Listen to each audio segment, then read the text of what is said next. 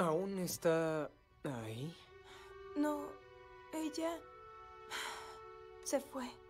Pero cuando estaba bajo mi piel, yo estaba en su mente. Recuerdo cosas. ¿Eso es nuevo? Curioso, no solo superaste a una hechicera de 200 años, sino también aprendiste algunos de sus trucos.